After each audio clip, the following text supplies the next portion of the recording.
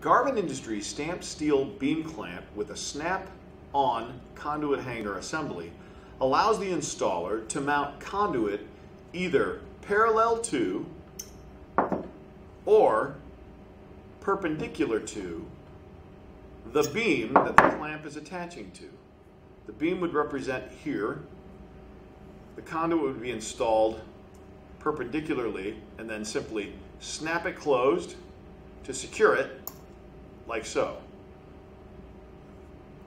These products come for half inch conduit, three quarter inch conduit, one inch conduit, and inch and a quarter conduit sizes.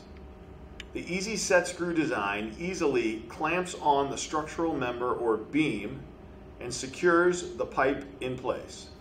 For these and other great products, be sure to visit us online at garvinindustries.com.